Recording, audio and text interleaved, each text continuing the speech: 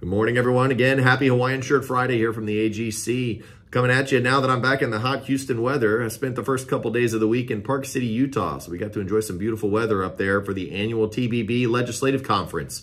So that statewide conference hosted by the AGC Texas Building Branch does a really good job of bringing our members together to learn about the legislative session, some other important topics relevant to our members, and also have a little fun in a different location, usually somewhere cooler in the summer, thankfully. So we enjoyed our time in Park City. We got to hear a lot from Corbin Van Arsdale, Executive Director of the Texas Building Branch. And Corbin's going to be back down here next Tuesday for our advocacy breakfast. So he'll be joining Mayor Turner, our good friend Mayor Turner, uh, to hear about the legislative session that just happened. Um, we'll hear updates from Mayor Turner as well, but Corbin's going to be kind of the focal point of that to recap the session for us. So those of us that attended the convention last week heard a lot of the updates from the session from Corbin. Uh, and we also got to hear about the importance of PAC. Corbin's a strong strongly emphasizes the PAC every time he can, and, and we want to do that as well. So if you're not familiar with our PAC, please reach out. That's our Political Action Committee, which we take funds to support candidates in their election campaigns. And so those those donations to those candidates um, help help develop that relationship with them so that when Corbin and Wade, our lobbyists in Austin, are doing their jobs during the session to pass pro-construction legislation,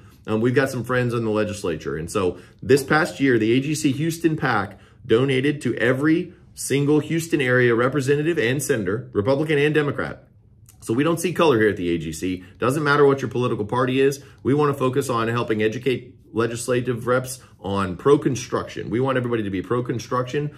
Party doesn't matter for us. And so that's one of the, the, the, things about AGC that makes us a little bit unique. We recognize that you've got to have friends on both sides of the aisle in order to pass legislation. Uh, it doesn't work just to align yourself to one side. Everybody needs to be pro-construction because that's what matters to our industry. So consider making a contribution to our PAC. Hopefully you're joining us next week for our advocacy breakfast. And uh, oh yeah, before I forget, happy uh, Father's Day to all my fellow dads out there. Hope everybody enjoys their weekend. Happy Hawaiian Shirt Friday, everybody.